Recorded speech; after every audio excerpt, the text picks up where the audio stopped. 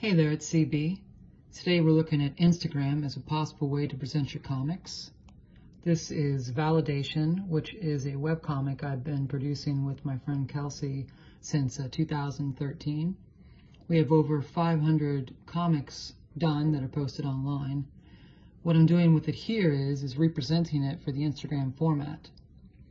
Now one of the things about this is if you do have a webcomic and you're doing it in a three panel format, you can isolate each panel separately and then load them up using the Instagram multiple feature.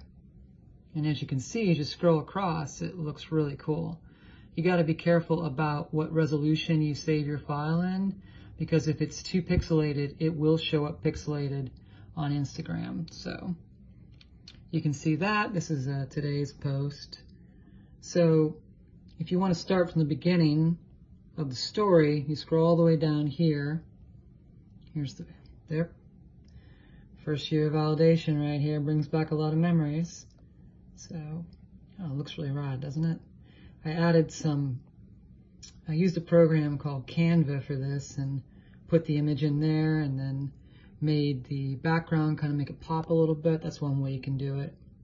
So looking up through here, kind of cool. And then you go back, bam, and getting some followers is pretty cool. You can only do one link out from your Instagram page.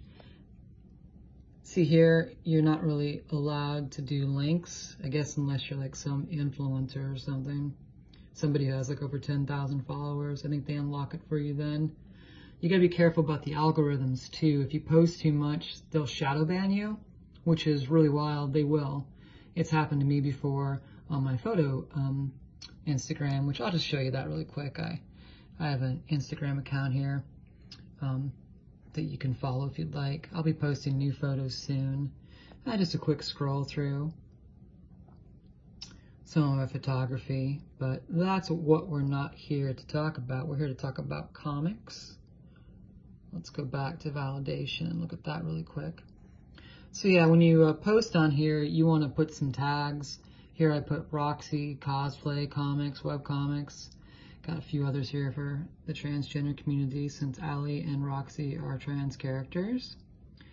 So if you go on that, um, you go on the, the comics hashtag, you can tell if you're shadow banned or not.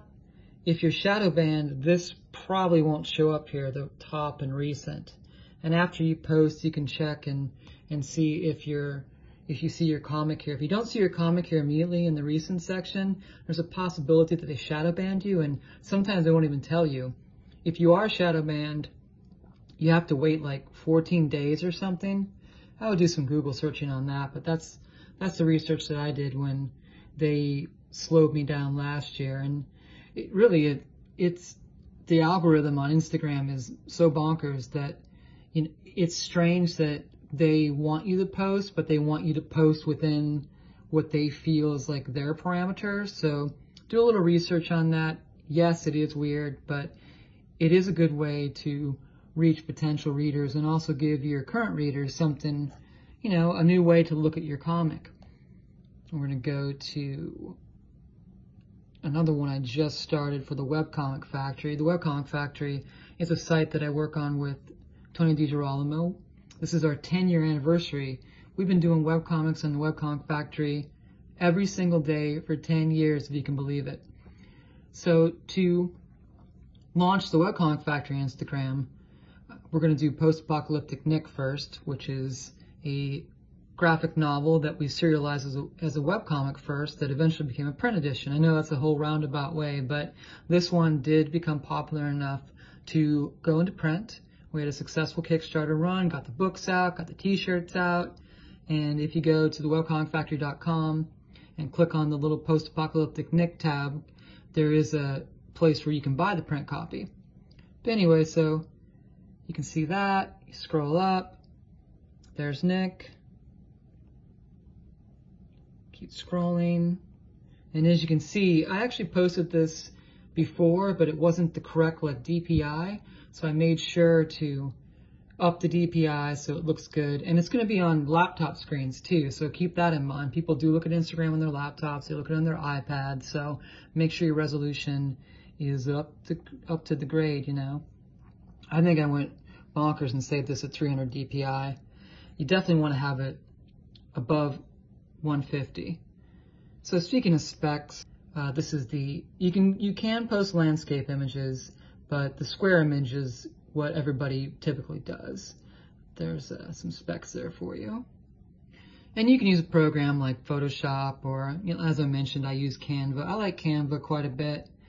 I pay the $12.95 a month for it. Really cool to be able to like load your image up in there, resize it. You can do like cool stuff with the background and all that. So that's definitely something to look into. If you have a regular size comic, not a web comic, it might be a little bit more difficult to reformat for Instagram. And here's my friend Doug Lefler. He's got a really cool Instagram you should check out. Doug does the storyboards for a lot of the Marvel movies. He's worked on so many things. He directed a movie called The Last Legion. He has a site that he works on called Story Attic. And we'll check out Story Attic here. Now these are isolated images from their comics, so just pick up one here, go through it. Now they're just isolating images mainly for promo purposes, but definitely kind of rad here. So yeah, there you have it. Uh, that's a way to do comics on Instagram, something to take a look at.